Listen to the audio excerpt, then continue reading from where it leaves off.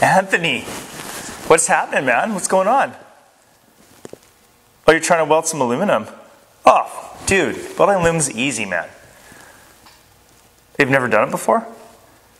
Ah, I don't know. It's not that hard. You don't know what the welding settings are? Tell you what. Why don't I make a video and show you how to weld aluminum?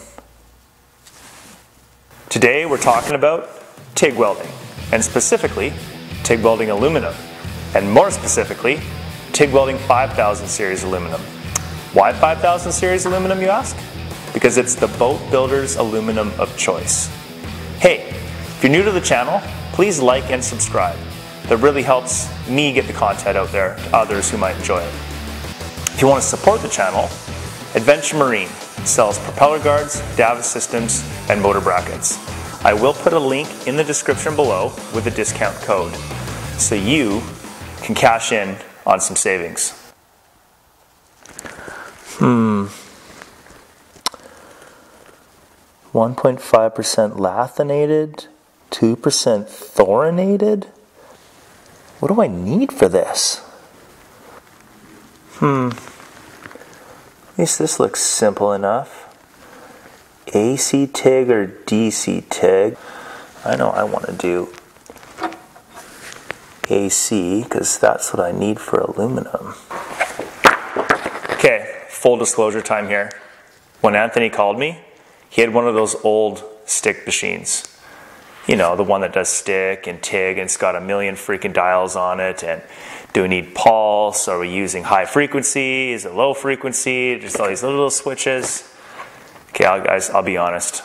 In the modern world, with a new machine, like the one that I have, the Dynasty 280, it's literally pretty much two settings. You're on AC or DC. So for me, it's really freaking easy.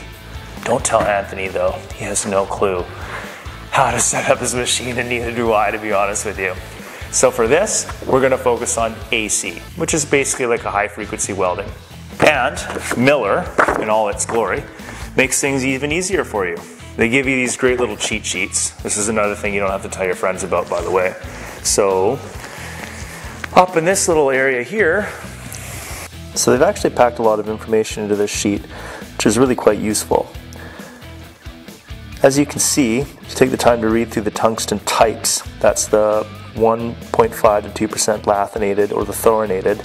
They're both they both can be used for DC and AC welding. So don't get too hung up, guys, into the type of tungsten to use. I know a lot of welders will tell you, oh, you have to use thorinated or you have to use lanthanated. I think everybody just develops their own thing, but realistically, I've used both and they both produce good welds. So I mean, don't get too hung up on it.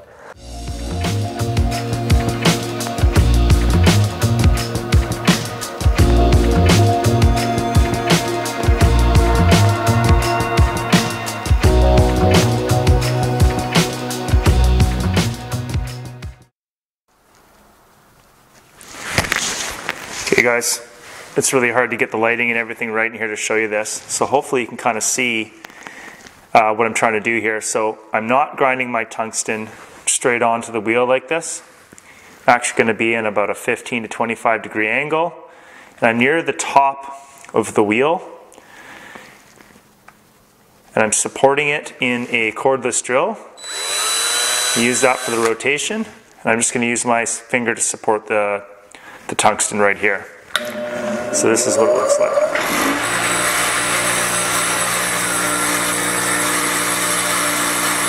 Don't have to do much. Just clean it up. Put a nice little angle on there. And away we go. So I guess it wouldn't be much of a, a welding video if we didn't just do some welding. So we've got our tungsten in here. I'm using a gas lens inside with a number 8 cup. Now there's lots of different things you can do there. Uh, I think for this video we'll just just keep it simple so just use what you have. Uh, we use a smaller cup because a lot of what I have to do is getting into small little places. Gas coverage maybe isn't as good as you'd get with a bigger cup but for this it's going to work just fine. You can get really technical on the stick out amount. Some people like to measure it. I just kind of eyeball it for what works for me. It depends on what I got to get into. If I got to reach down inside of something, I'm going to have it stick out a little bit more. If I'm going to be doing a T-joint like we are today, I can get away with having it in a little bit closer.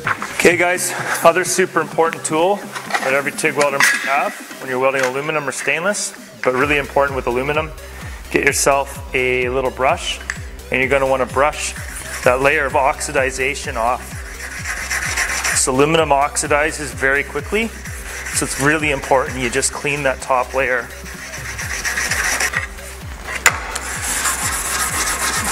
I just give these a nice little clean. Don't have to go super crazy, just clean that oxidization off. Once you get it tacked up, you can give it a little bit more too. It's a little easier to get in there. Okay, so let's do this. I'm running 160 amps, which might be a little bit low. Or maybe a bit high. This is 1 8 aluminum, 5000 series. Let's tack the corners to see what we get.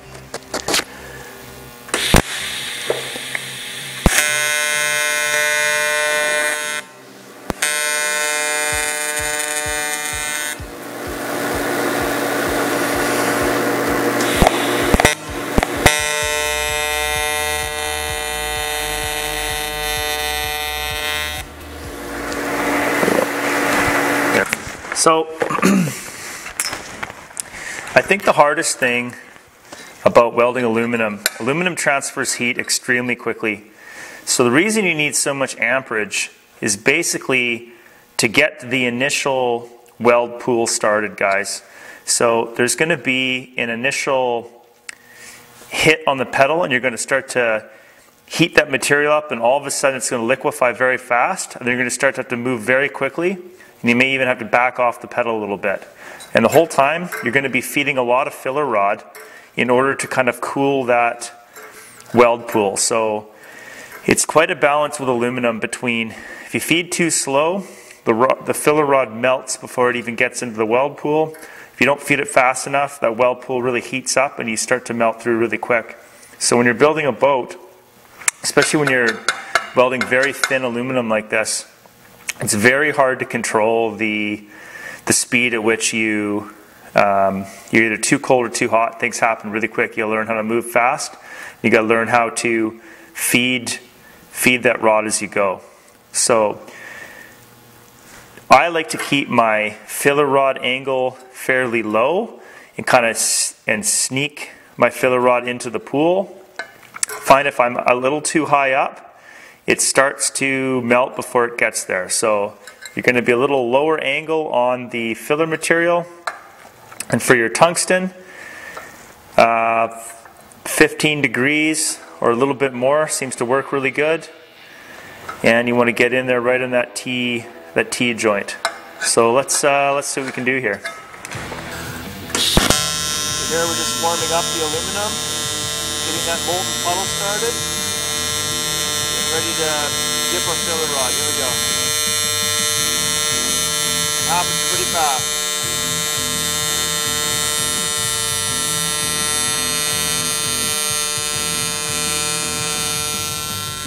slowly let it off. If you let off too fast, you're going to form a crack in the aluminum.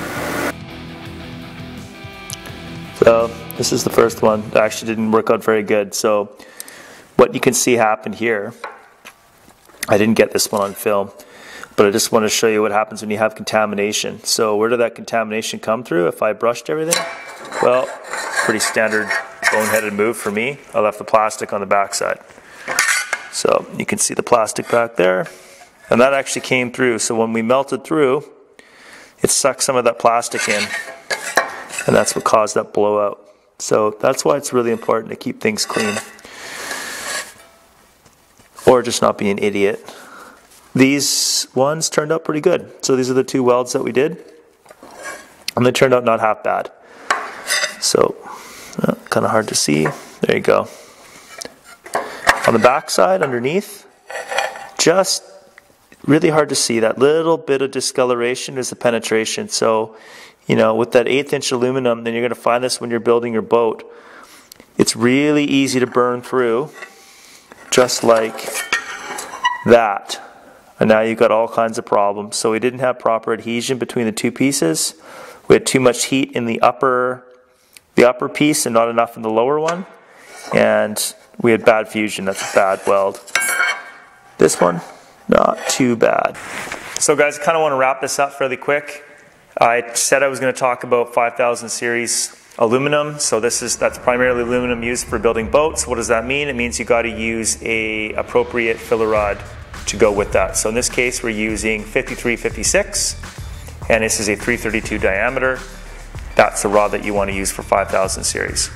Don't be mixing different filler rods. So make sure you have a look on the little flat section on the back and actually make sure you're putting the right stuff into the weld pool. I hope this video helped you learn a little bit about TIG welding aluminum. If it didn't and it was a complete waste of your time, then give me a huge thumbs down and tell me why it sucked.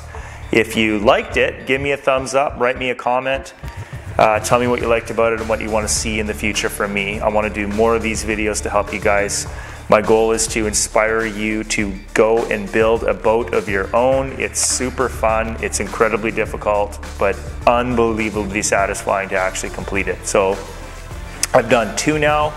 I'm looking at building a third boat, hopefully at the beginning, hopefully in the new year in spring. And let me know what you think I should build. I'm looking at an 18 foot design right now. I just did a 16 and I think that'd be a pretty sweet boat. So tell me in the comments what you want to see from me. Guys, get back out there, live your adventure. Let's get back to it.